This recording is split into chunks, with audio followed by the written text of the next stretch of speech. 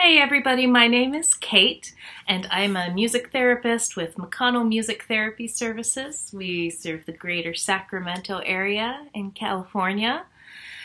I've got I'm also a working mom. I've got three kids, ages 10, 7, and 5. And they're awesome. Um, we also have a golden doodle puppy. She's very cute, which is good because she's also pretty naughty. Her name is Hermione, and I live here in this house with my family and my awesome husband. Um, with everything going on right now and schools being on these long extended breaks and a lot of stores being closed, things have felt kind of weird lately.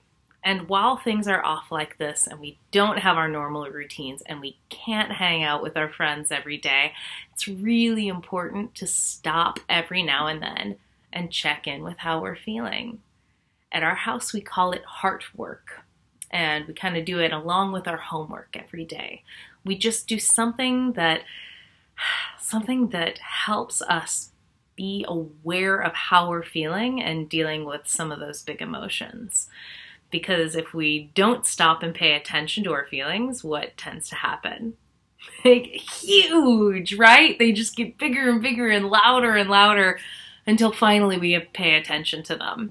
And that can come out a lot of different ways. Like my my youngest tends to poke her big brother, my middle guy.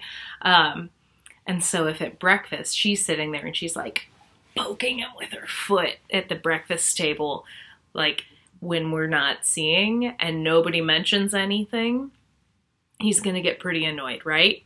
But he's not going to lose it. And then if things keep going all day and all these little things, these frustrations keep building, but he doesn't stop to be like, whew, I'm feeling frustrated now. What's going to happen? Well, in our house, my middle guy is going to lose it at some point in time over something that's probably not that big of a deal. And he wouldn't go all like like a volcano if he's if he noticed kind of where he was and was like, wow, I am really frustrated with my younger sister right now. So, with this heart work, we're just gonna kind of check in, see how you're feeling, and talk about some different ways to handle these emotions that are coming up in these really weird times that can feel kind of scary and uncertain. Yeah? So, Today, I wanted to talk about the people who we count on and how we can get support from them. Some of those people may be people that you live in your house with and that you might be sheltering in place with right now. Some of them could be other people in your lives. They could be people like teachers or grandparents or friends who you get support from, uh, you know, anybody who you count on. They could be pets. I don't know about in your house, but in in our house, Hermione's kind of a kind of like a person too. She also gives wonderful kisses and snuggles. She's very fluffy. So I would invite you to grab a piece of paper. You can pause this if you want. Piece of paper, something to write or draw with.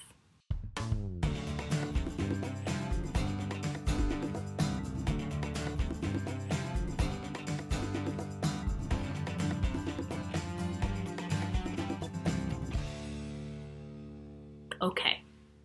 So, what I would like, or what I would invite you to do, would be to go ahead and think about who you count on in your life. So, if I were thinking about it, I would draw my mom or list. This could be a list too but I would definitely put my mom on there because she's awesome. I would also put my husband on there. And also my dog. Because, like I said, she gives awesome snuggles. I also have four really close friends who I would put on there.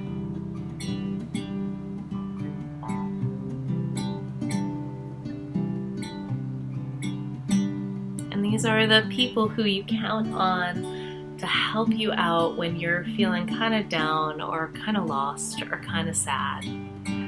Or just need to like go, people in my house are frustrating right now. Because we all get there. Totally normal.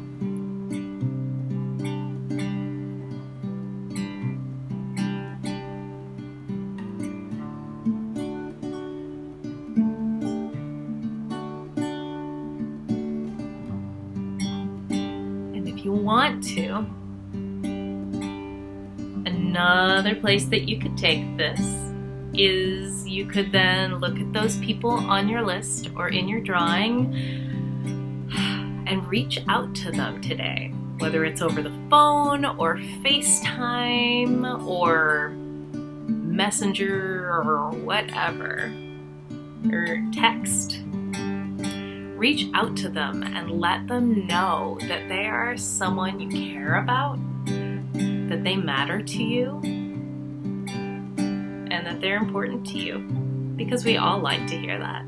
That's nice for everybody. And it's really nice to connect with those people who support you.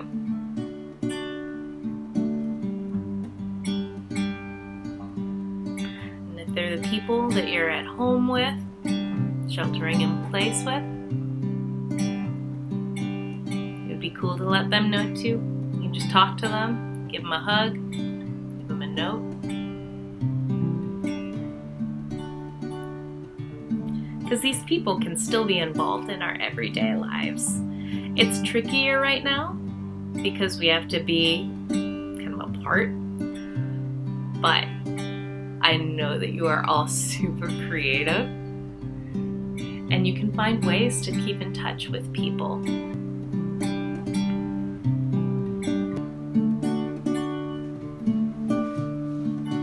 And those are people then who can, you can talk to about how you're feeling. You can say, I'm frustrated with my sister. Or, oh my gosh, I did not get that assignment from class the other day. Or, ah, I keep getting kicked off of Zoom because of our house internet or whatever. Whatever it is you're needing to talk about. Then you've got that someone that you can lean on, which is important because we all need that. Thank you for spending time with me today. I hope you're going to join me again for Heartwork. Take care of yourselves something kind for someone else. And I hope to see you again soon.